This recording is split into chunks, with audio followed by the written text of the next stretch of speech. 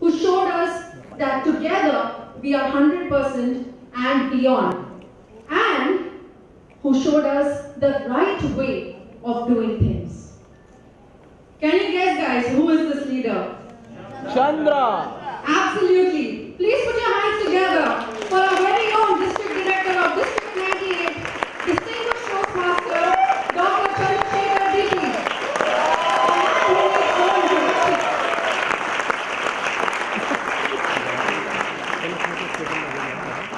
Thank you. Thank you. Thank you all. Before I begin, let me see my district. Toastmasters from Pune. Toastmasters from Goa. Toastmasters from Mumbai. Toastmasters from Indore.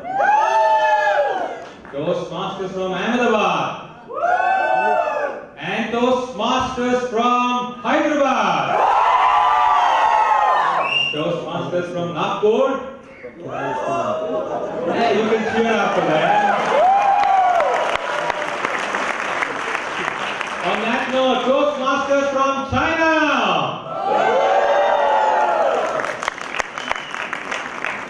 Toastmasters across District 98. One big round of cheer.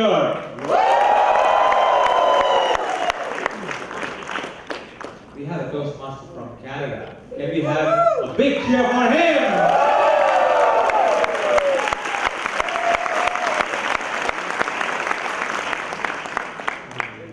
Friends and fellow Toastmasters, this is indeed a dream come true. Every year, you wait for one special day. And that special day often ends up to be your birthday. if you're married, your marriage anniversary. If you have a kid, your kid's birthday. But the common factor there is that special day is really special because that moment is very, very close to your heart. If you are in the trio, if you are a district director, the day which is very special to you, even superseding these days, is the day your district conference, the annual district conference begins.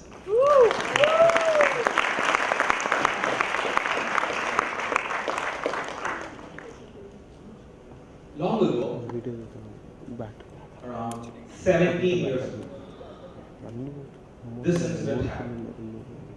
And I'll tell you a reason why I'm telling you this incident. The reason is, you often share incidents which really matter to you with people who matter to you. You don't bother about what will they think when you tell them this. You don't worry about will they judge you. You don't think about what would happen after I have told them what I have to tell them. So I am telling you because you are matter to me. So 17 years ago, I failed.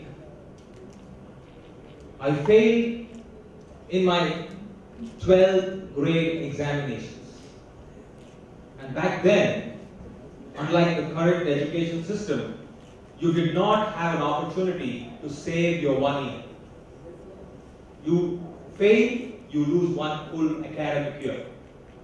And when I failed in my 12th exams,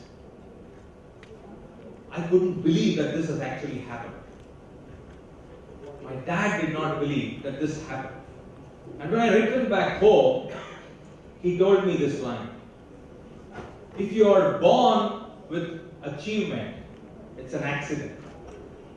But he told me this line in a different context. He said, You think you're born with a silver spoon? I put my hard earned money to educate you. And you, going to the college, instead of studying, you did whatever you thought was important to you then. And today you stand in front of me as a failure. You are not born. Children of my drivers and bus conductors are better than a child like you. At least they pass. At least they qualify to the next level. And with what face will I enter my office tomorrow when that driver whom I have appointed comes to me and asks, Sir, what happened to your son's result? Will I tell him that I failed and my son failed me? That's one part of the story. The next six months, till I achieve my supplementary exams and I clear it, went in a misery. I could not face my dad's eye. I used to play hide and seek, literally. When he wakes up, I will go to sleep. When he's out of his room, I'm inside my room. When he's out for office, I'm the king in the house. And when it's time for him to return, I leave the house. I somehow managed it with meticulous planning that six months there were hardly three or four occasions where I met him. And then when I cleared my exams, I came back. My dad was not happy because I had anyway done the harm to him. But then he had some necessary chores to be completed. So we were at that point in time registering an apartment in Bangalore. And as the rule goes, you need to be there at the registration office if you are a part of the family. Thankfully, since I had cleared my exams, the supplementary exams, he thought I'm still a part of the family. he said, Get ready, tomorrow we need to go to the sub registrar office and we need to get the registration done. And you, all you have to do is be there on time. I did not want to take any risks or chances. So I was there much ahead of time and I accompanied him along with other family members, my brother and my mom, to be there and to register the property. Now sitting there, you know, registration offices in India, it's not like Toastmasters. it doesn't have a format. It doesn't have punctuality. It doesn't have somebody telling you this and this and this, and it is not professional. So we were sitting there and we waited for hours and hours and hours, and after that our turn came. But in this entire process, I was fascinated with one particular activity of a person who was there right in front of me when I was sitting there and waiting for my turn. And that person was this clerk, the second divisional clerk, who had this job of putting the stamp on every paper. Do you know that? Yeah. And if you notice him, he's like a mission program. He will be looking at everybody in the room, but he'll be doing properly. I was wondering how is he able to get that accuracy? How is he able to do the right seal at the right place? My dad was wondering, what is this fellow wondering about?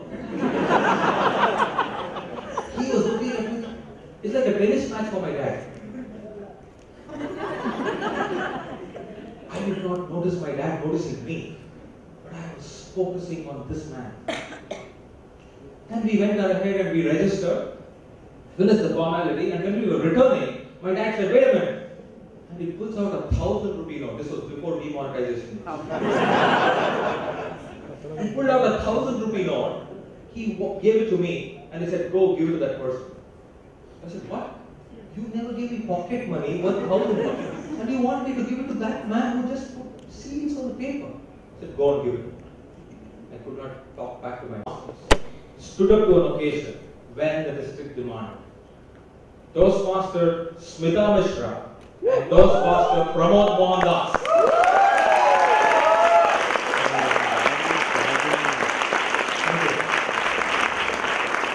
The reason I said that they paid the price through patience is they stepped up when the elected officers had to leave this country due to their official engagement and assignment.